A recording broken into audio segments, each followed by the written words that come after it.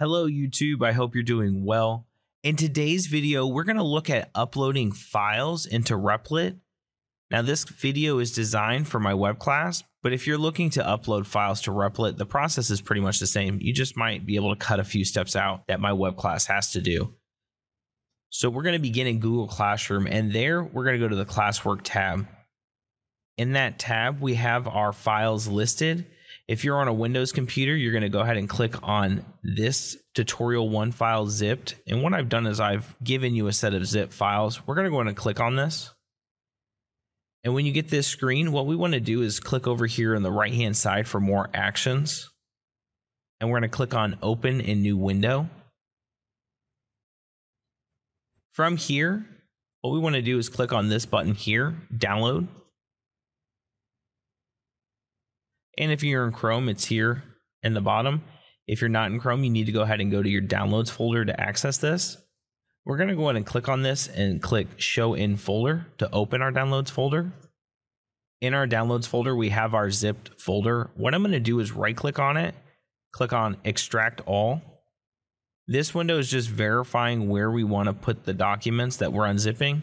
Our downloads folder is fine for this. We'll click extract. And that opens up a new folder. In this folder, we have all those files that were zipped. Now, I'm going to go ahead and pull this off to the side. I'm going to go back to my Replit, and I'm going to pull this back over. Let's say I wanted the files in my tutorial folder.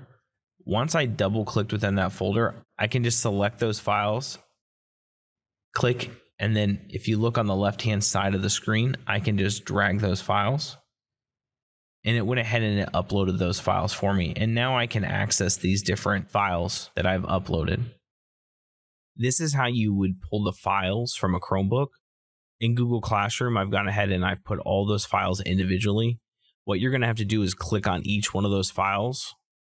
Once you've opened it, you're going to click More Options, Open in New Window. Once that file opens, you'll click Download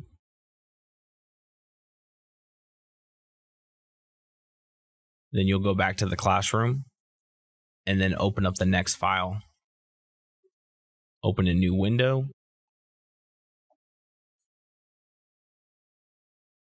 Click on download.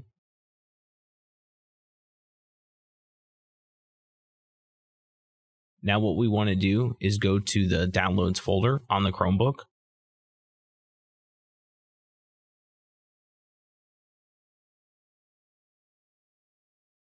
That folder can be found in the files.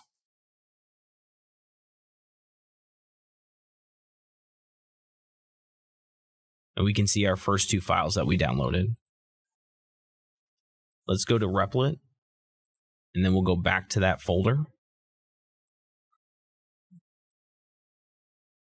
And once I select those files, I'm just going to drag them over to the Replit site on that left hand side and drop the files. Thank you.